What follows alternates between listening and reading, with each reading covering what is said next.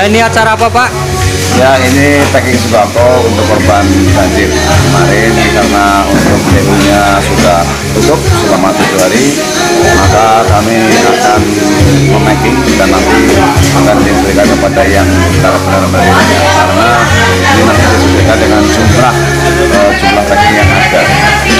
Kira-kira untuk berapa kebutuhan berapa kakak Pak?